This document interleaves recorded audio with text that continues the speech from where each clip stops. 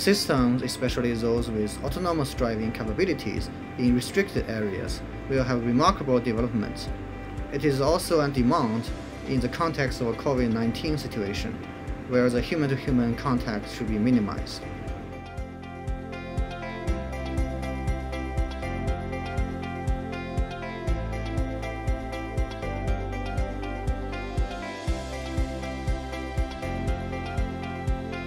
I believe the autonomous systems and robotics will lead to the greatest impact on the global COVID-19 recovery. The reason is direct and only autonomous system can minimize the contact among patients and different subjects while achieving actual delivery and contact.